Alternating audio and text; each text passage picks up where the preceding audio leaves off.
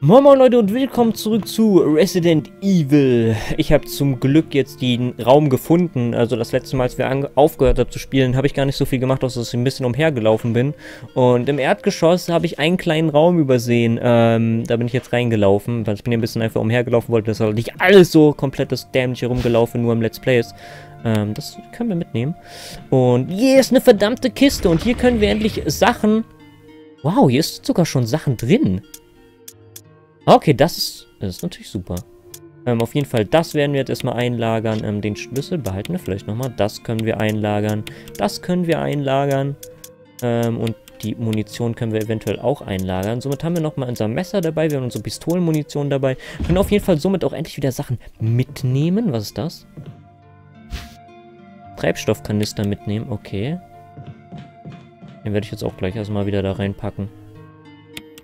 Okay, guck mal, das Ding ist aber leer. Ich, ich glaube, wir packen erstmal alles, was wir jetzt nicht unbedingt gerade brauchen, da rein.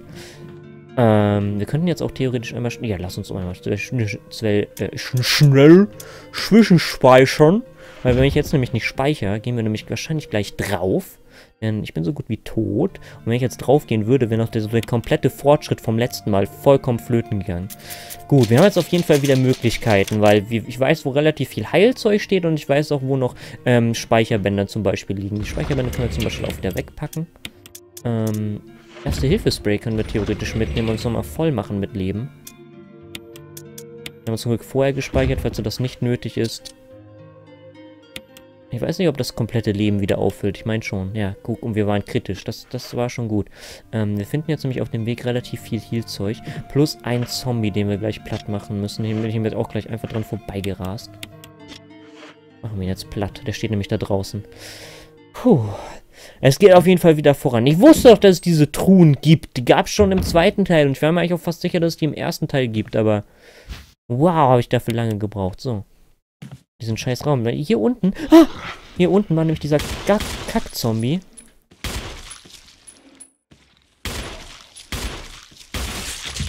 Okay. Der steht nicht wieder auf, oder? Ja, das Blut ist immer noch nicht aus dem rausgekommen. Okay. Wenn man den Kopf anscheinend wegballert, dann kommt das Blut da nicht nochmal raus. Interessant. Ähm, ja. Wir kommen auf jeden Fall so jetzt wieder ein bisschen besser voran. Wir haben wieder volles Leben. Wir haben ein freies Inventar. Ähm, wollen wir das grüne Kraut gleich wegpacken? Nein. Oder? Warte mal, hier oben war, glaube ich, nochmal ganz viel Kraut. Ich weiß nicht, ob das hier in dem Gang war. Auf jeden Fall in irgendeinem Raum waren noch ganz viele Kräuter, die ich alle nicht mitnehmen konnte, im Grunde genommen, weil mein Inventar voll war.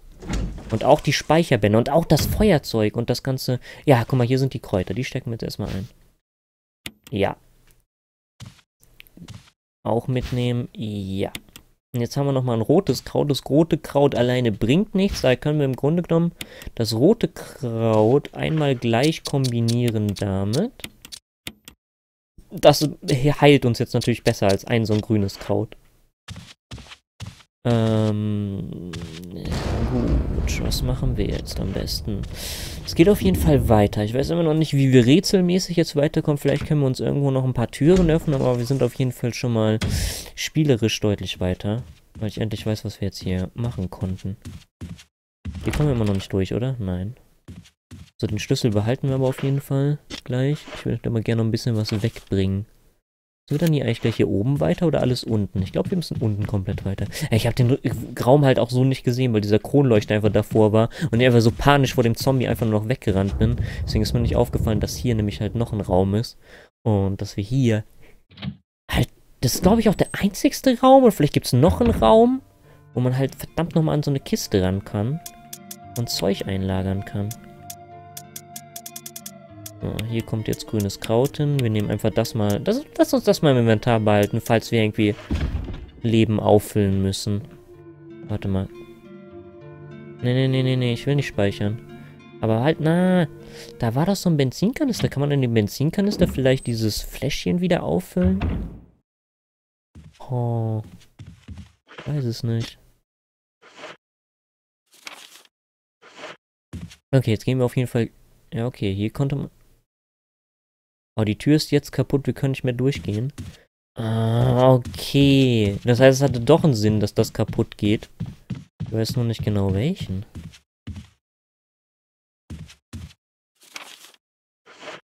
Ah, nee, oder? Äh, warte, wir haben jetzt nochmal die Tür aufgeschlossen. Okay, das heißt, wir kommen hier nochmal irgendwo raus. Ich weiß, dass wir gerade eben nämlich oben rausgekommen sind. Ich weiß nicht, ob wir jetzt oben wieder reingehen können, damit wir oben dann wieder da zurückkommen. Äh, wo sind wir denn jetzt eigentlich gelandet? Ist das der Raum mit der blauen, also wo man ankommt von der blauen oder von dem Esszimmer? Ah, hier ist das Grammophonzimmer. Hier haben wir noch Zeug zum Mitnehmen. Die Seiten sind leer. Hier haben wir nämlich das Feuerzeug. Einfach mal mitnehmen. Und hier war noch irgendwas. Die Hundepfeife. Wo war denn die Hundepfeife nochmal? Da, da vorne liegt sie, oder? Ja. Oh. Ein zerknülltes Memo. Heute wies mich Sir Spencer an, etwas so zu verstecken, dass niemand je es finden würde. Nun, ich hatte da eine Idee. Ich dachte mir, wenn ich es durch ein gefährliches Tier schütze, wird er, äh, wie etwa den bissigen Hund, der hier wohnt, kann niemand herankommen. Soweit ich weiß, lauert der Hund immer auf dem Balkon im ersten Stock an der Westseite der Terrasse und hört auf die Hundepfeife. Und jetzt kommen Sie ins Spiel. Sie sind der Einzige, der an diesem verfluchten Hund herankommen kann, ohne zerfleischt zu werden. Nur Sie können ihm das Halsband anlegen. Das Objekt, das sie Sir Spencer versteckt haben will, ist darin verborgen. Ich kann diese Aufgabe nur Ihnen anvertrauen. Natürlich sollen Sie einen gerechten Lohn dafür erhalten. Es gibt ein Objekt, das Sie schon immer haben wollten, nicht wahr? Im Gegensatz zu, für Ihre Hilfe könnte ich es für Sie beschaffen. Das ist für uns beide ein Vorteil. Was ist denn hier los? Aber warte mal, man muss an den Hund, der an diesen Hund verfluchten Hund herankommen, ohne zerfleischt zu werden. Nun können Sie ihm das Halsband anlegen. Ein Halsband habe ich noch nicht. Aber war das vielleicht draußen, da wo man den Hund gehört hat? Das wäre vielleicht noch eine Überlegung. Warte mal. Könnte man da noch weiter? Ja. Okay, jetzt können wir aber theoretisch durch beide Gänge weiter. Weil beide enden eigentlich in diesem Gang. Beide dieser Wege.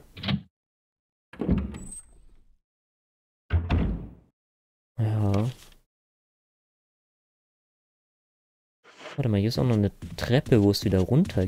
Achso, ne, ja, stimmt.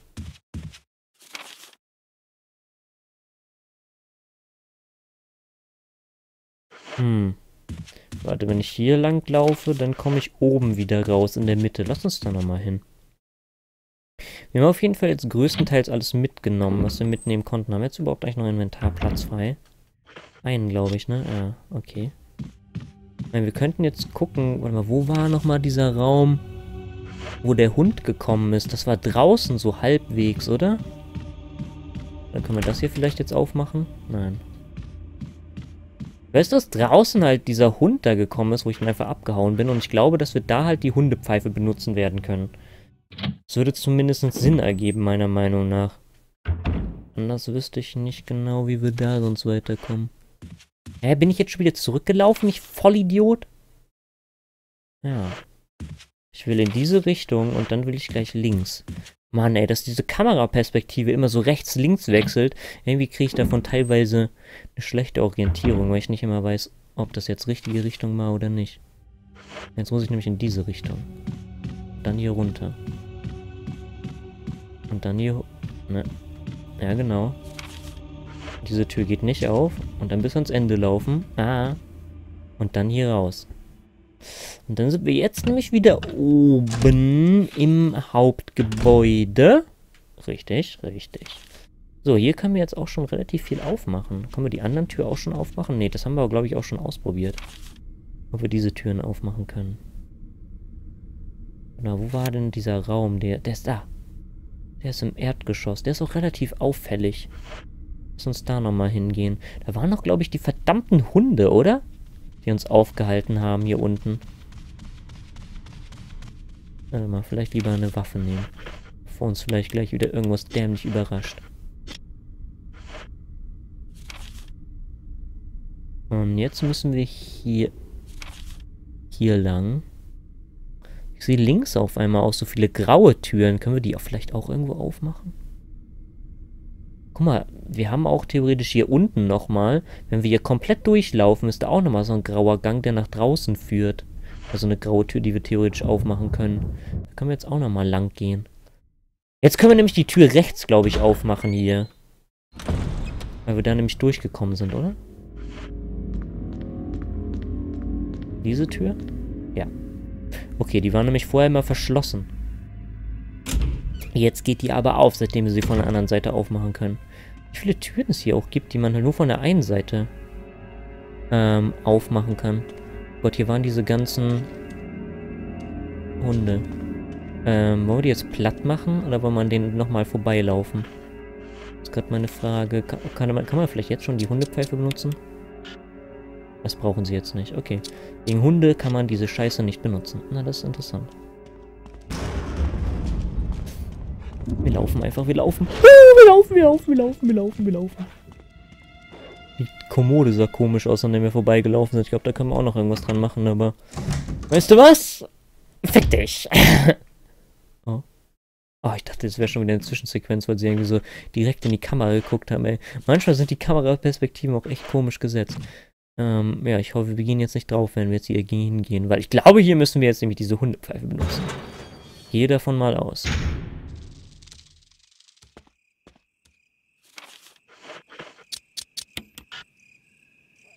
Oder wenn nicht, gehen wir jetzt...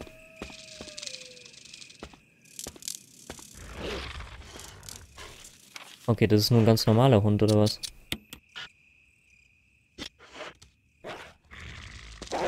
Ah! Okay, hier sind ein Haufen Hunde, plus da waren ganz viel Heilzeug und ein Benzinkanister, wenn man mit dem interagieren kann. Weiß nur nicht, was wir damit machen, außer dass wir vielleicht da eventuell dieses komische Ding vollfüllen können. Waren wir hier schon drin? War es das Bad?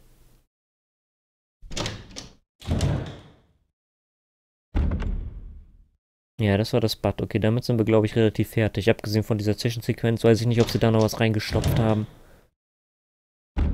Okay, aber wir waren, glaube ich, noch nicht durch alle Räume durch, oder? Ne, wir konnten ja auch irgendwo da noch weitergehen. Sind echt diese roten, die rot markierten Räume. Bedeutet das, dass es da noch Gegner gibt? Oder warum sind manche Räume rot markiert? Verbleibend vollständig. Also, dass es da noch Items liegen vielleicht? Rote Räume bedeuten vielleicht, dass da Items liegen, weil die nicht vollständig sind. Das könnte durchaus sein.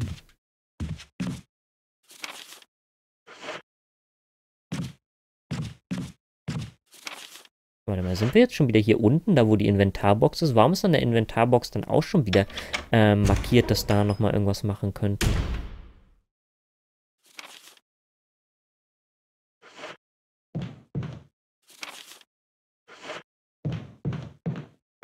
Okay, hier sind wir noch nicht lang gelaufen. Oh, fuck my life. Oh, das hat mich erschreckt. Hau ihm das Ding in die Fresse, hau ihm das Ding in die Fresse. Lauf, lauf, lauf, lauf, lauf! Das ist doch knapp. Scheiß Kamera, scheiß Kamera, scheiß Kamera. Nein! Oh, fuck, Mann! Fuck, fuck, fuck, diese beste Kamera.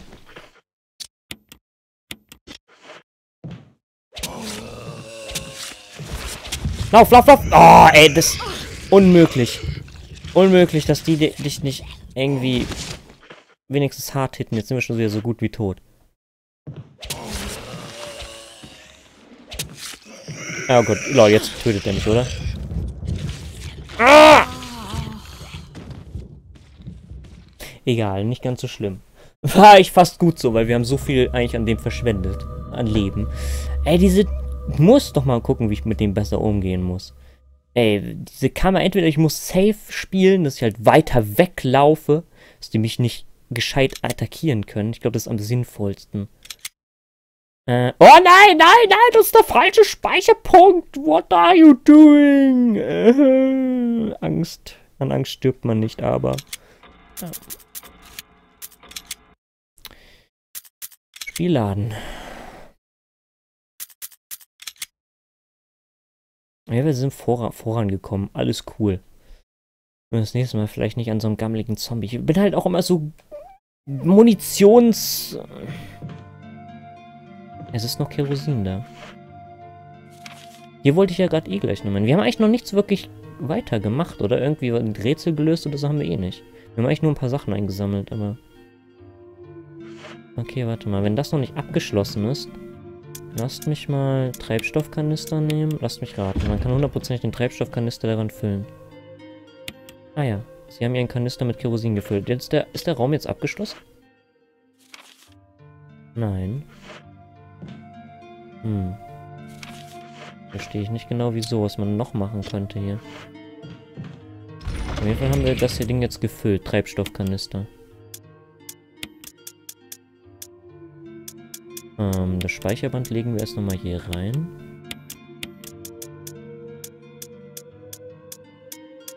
Und wir benutzen nochmal das erste Hilfespray. Wie wir es gerade eben auch gemacht haben. Und jetzt fehlen halt jetzt noch ein paar Items aus den Räumen über uns, aber das ist eigentlich relativ egal. Ah, ich bin nicht relativ verplant nochmal komplett alle Träume gut durchgegangen und versucht habe, die zu öffnen. War jetzt hier draußen noch den Zombie, den wir auch nochmal töten müssen? Ich glaube ja. Oder? Ja. Dass der Penner keine Geräusche macht, während wir dastehen. Affe, ey. Was machen die extra, dass man das nicht sieht? Kameraperspektiven sind echt die Hölle hier. Aus der Hölle, aus der spielerischen Entwicklerhölle. Ähm, hm, Inventarboxraum ist theoretisch noch nicht fertig. Ah, fuck, stimmt, das war das Problem. Dass man hier unten nicht mehr weiter konnte. Ach, guck mal, das ist aber auch markiert. Man kann jetzt nur noch von der einen Seite durchlaufen. Ah. Okay.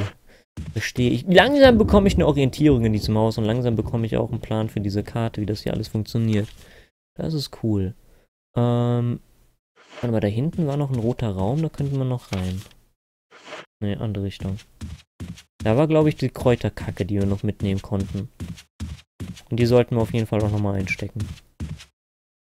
Habe ich die danach eigentlich vorhin gerade nochmal weggebracht? Ich glaube schon, oder? Wenn man auf dem... Ne, wenn man, ist man eigentlich nicht auf dem Weg. Na, egal.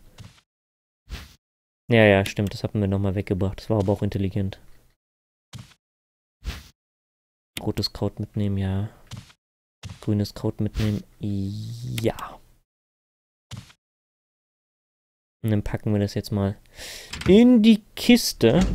Ich will jetzt nicht nochmal speichern.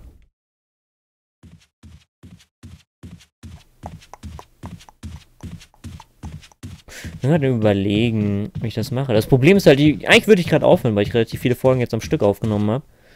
Aber man kann halt nicht hier einfach F5 drücken oder einfach Spiel beenden und dann ist ja, ist ja alles gesaved. Das geht hier so ja nicht. Ich würde die Folge eigentlich auch, na gut, wir haben jetzt 18 Minuten runter. Naja, so gut, dann machen wir diese Folge jetzt ein bisschen früher Schluss. Wir wissen auf jeden Fall, was wir jetzt machen wollen. Wir haben jetzt, glaube ich, noch relativ viele Optionen, die wir machen können. Wir haben auch relativ viele Items, die wir in irgendeiner Art und Weise noch verwenden können. Und wir haben noch diese ganzen Räume mit den Hunden. Ich weiß nicht, ob ich die töten muss. Aber naja. Werden wir sehen, werden wir sehen. Ich werde auf jeden Fall in den nächsten Tagen mal weiterspielen. Ich bin gespannt, was ihr also in den Kommentaren geschrieben habt. Ähm, vielleicht habt ihr noch ein paar sinnvolle Tipps für mich. Hoffentlich keine Spoiler. Spoiler möchte ich nämlich nicht sehen. Aber ja, mir es auf jeden Fall Spaß gebracht, ähm, hier rumzurätseln. Ich hoffe, euch hat es auch Spaß gemacht und vielleicht hat sich das ein oder andere auch ein bisschen erschreckt. Und die Atmosphäre in diesem Spiel ist auch sehr... Auf eine sehr angenehme Weise unangenehm, würde ich sagen. Naja, ich bedanke mich fürs Zuschauen. Bis zum nächsten Mal von Resident Evil 1 HD. Bis dann und ciao, ciao.